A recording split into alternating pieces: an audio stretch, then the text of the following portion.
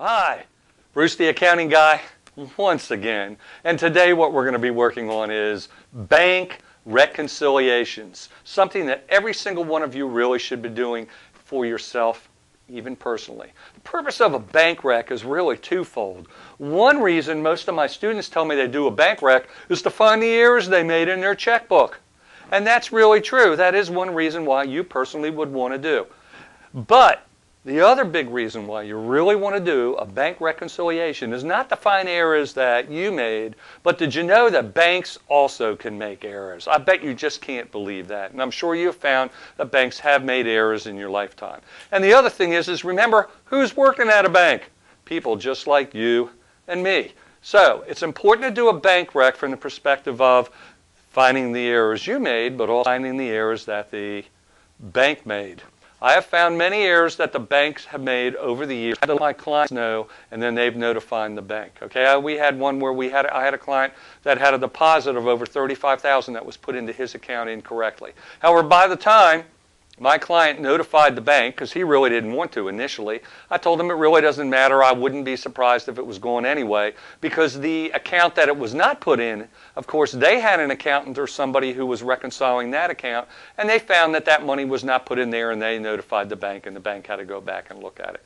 So what we're going to do is we're going to do a bank reconciliation. We're going to do what's called a, a double-sided bank reconciliation. And again, for most of you, you're going to always want to do at least the first side. When we have a business, we really need to do both sides, as we'll see. So let's take a look.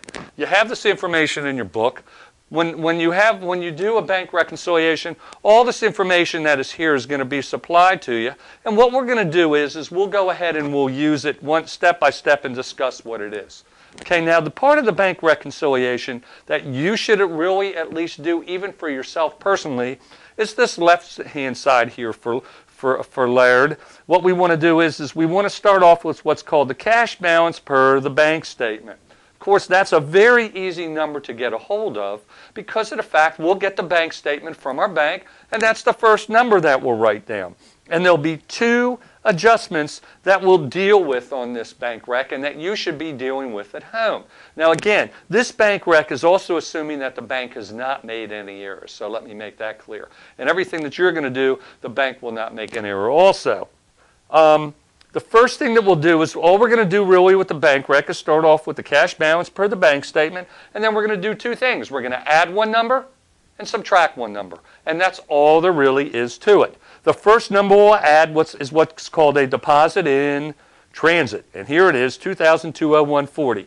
It will always be giving to you and all the information. Now I know I have these check marks next here, so it reminds me of what to go over and I don't miss a number. But as I use these numbers in the information supplied, I'm going to check them off to know that I've used them all. And then by the time I've used them all, hopefully all of this will, will be complete.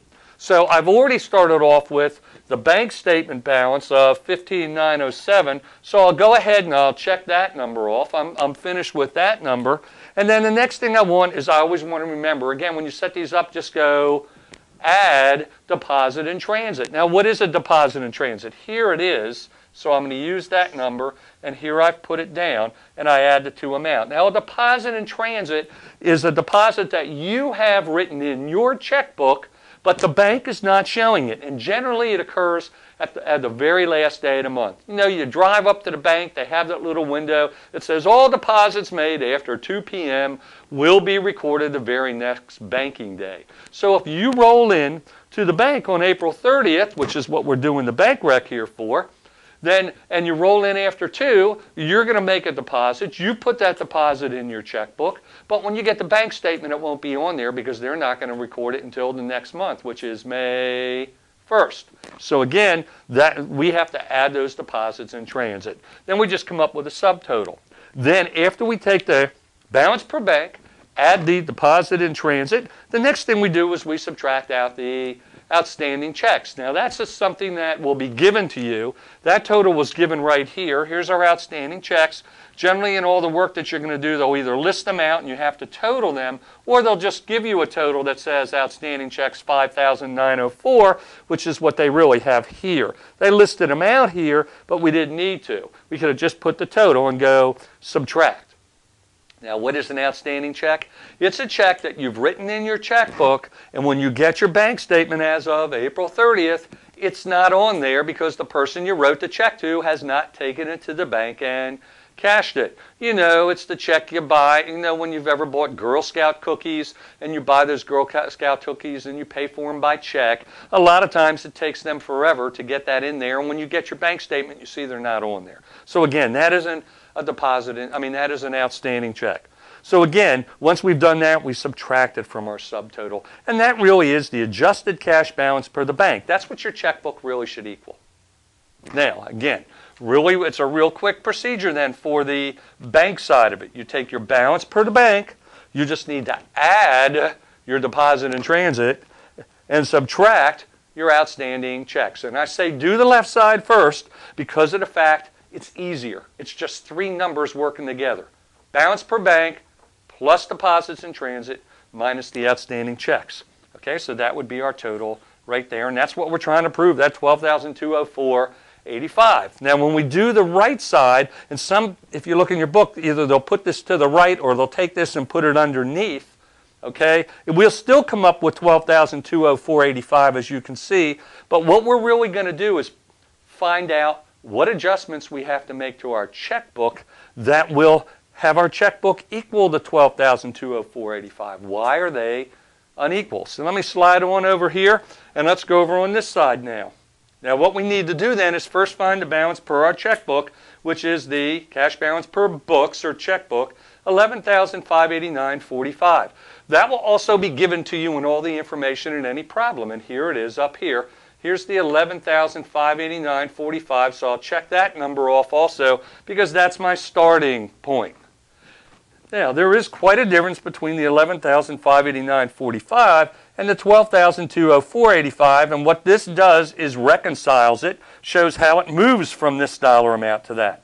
There are numbers that will increase it, and there will numbers that will decrease it. Now, as you read your book, the reason that we also want to do this right side or the bottom part, if it's brought over to here, is because of the fact is, is it gives us, if you look farther in your book, the necessary journal entries we need to make to move it from this dollar amount to that, because we need to get our account to the 12,204.85, I mean, in our, in our uh, general ledger.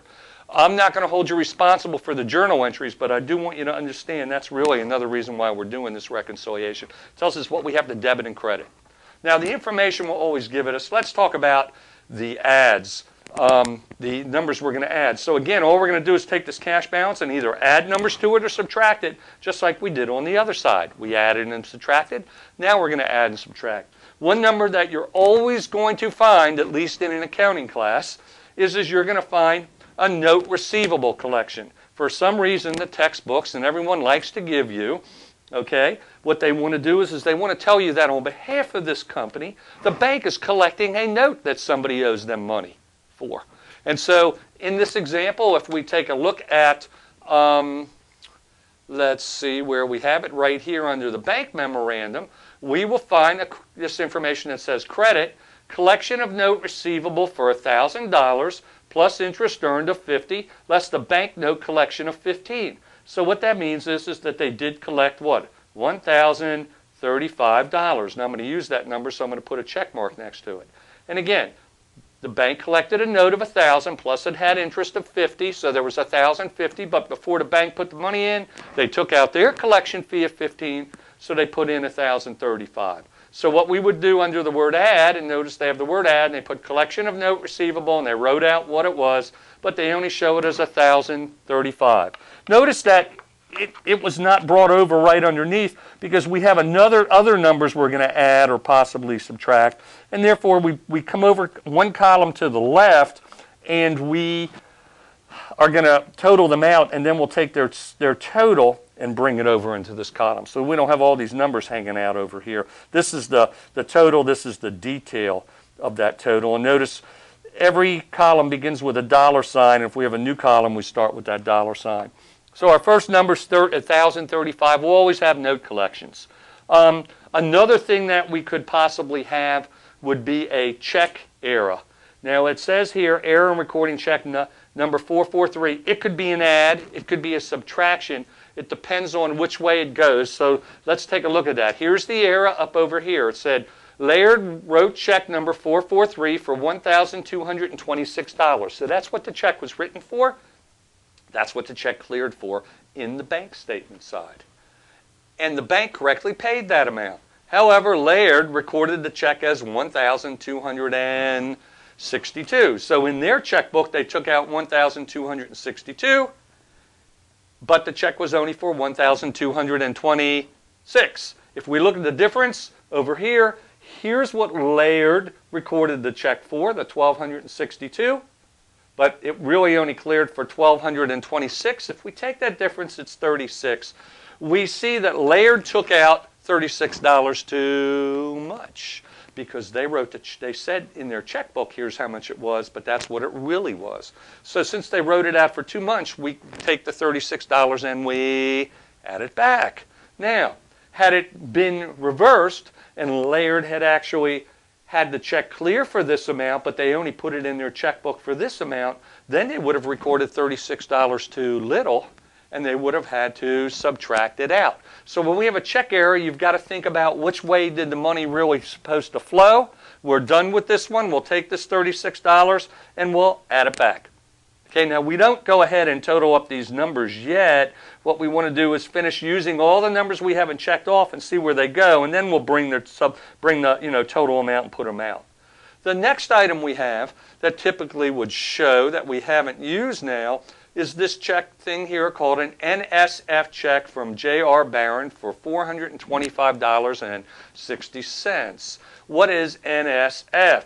NSF means non-sufficient funds. That means that when we have non-sufficient funds, that means that the check bounced on us, that the person wrote us out a check and they didn't have enough money in there. Now, I had a client we used to joke about, he bounced checks all the time, and we always said that, that, that he bounced when he walked. Okay, and he would just go right, right around the town, and he was. He, everybody said he was a bubbly guy, but we said they just don't know the real story on this guy. He just bounced everything. So again, when we have a bounce check, what that means is, is, is that we recorded it as a deposit, but now the bank has taken it out.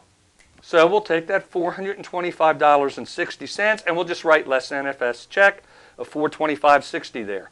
And then the only thing we haven't really used less yet is the charge for printing company checks, $30.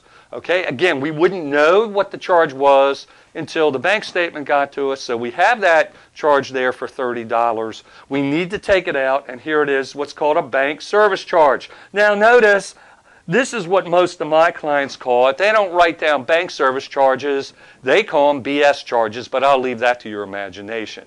So, again, we do have that bank service charge, and that is $30. You know, also any other kind of fee, if a bank has a monthly service charge that they charge you, you don't know what it is till you get it there, and any kind of bank service charge would be what?